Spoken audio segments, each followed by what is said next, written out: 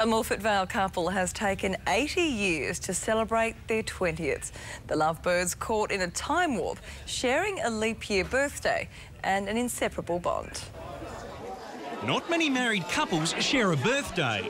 We can belt each other and everything. We can't say a thing. Can you imagine? Happy birthday. Happy birthday. Come, come. Even fewer were born on the very same day of the very same year. Happy birthday to you. But Bill and Dole Sheridan's story takes the cake. Happy birthday to you. Both were born on February 29 in the leap year 1932.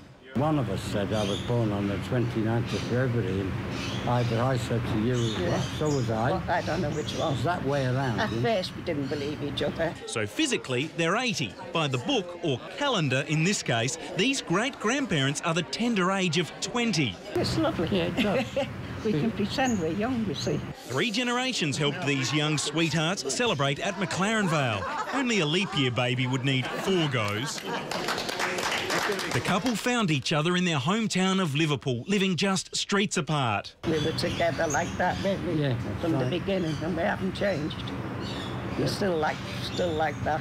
Two peas in a pod. They married 40 years ago, or does that make it 10? I'm confused. But at least the family has four years to prepare for the big one, Bill and Dole's joint 21st. We might get there yet. We'll come back and tell you. Brett Clappers, 10 News.